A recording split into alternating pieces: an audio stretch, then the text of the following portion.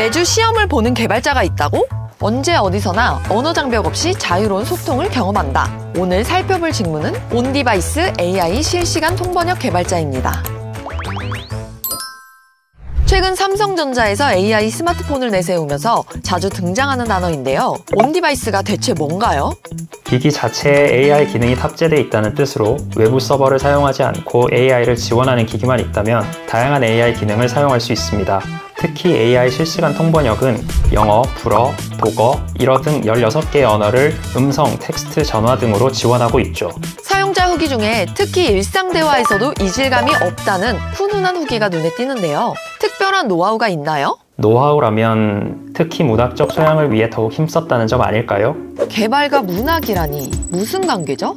통번역 기능은 여행지에서 혹은 일상생활에서 많이 사용하기 때문에 문어체보다는 구어체 문법이 더 적절합니다. 게다가 같은 구어체라도 한 끗 차이로 느낌이 달라지죠? 이런 미묘한 차이도 잘 전달하기 위해서 언어학자분들의 자문을 받고 문학적 소양을 키우는 등 고심 끝에 데이터를 만들었습니다.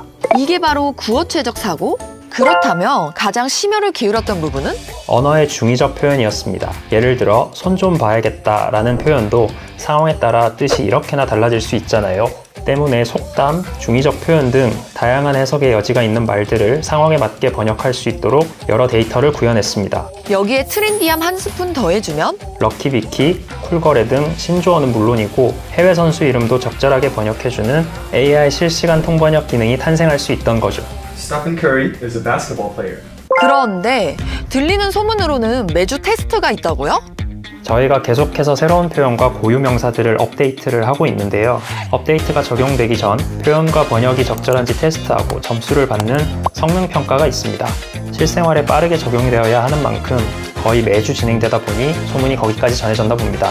그래서 최신 논문을 찾아보며 공부하고 새로운 방법으로 적용해보는 학구열이 필수입니다. 그럼 마지막으로 사용자에게 꼭 전하고 싶은 말이 있다면? 개발자들끼리 하는 말로 on-device AI 개발 과정이 곧 코끼리를 냉장고에 넣는 과정이라고도 말하는데요. on-device AI와 언어가 만나면서 저희는 코끼리가 아닌 메머드를 냉장고에 넣어야 했습니다. 코끼리도 어려운데 메머드라면 더더욱 힘들겠죠? 그래서 사실 처음엔 저희도 과연 가능할까 걱정됐지만 크기는 작아져도 성능은 절대 작아질 수 없다는 목표 하나로 서로 공부한 지식을 나누고 각자의 언어를 연구한 결과 이렇게 여러분께 on-device AI 통번역 기능을 선보일 수 있었습니다. 지금도 여전히 최선을 다해 업데이트하고 있으니 기다려주시고 실생활에서 유익했던 경험을 남겨주시면 힘이 될 것 같습니다.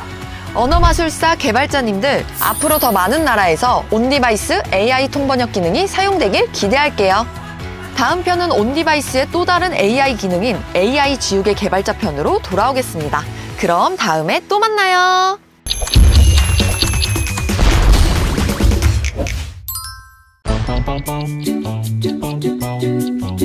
do.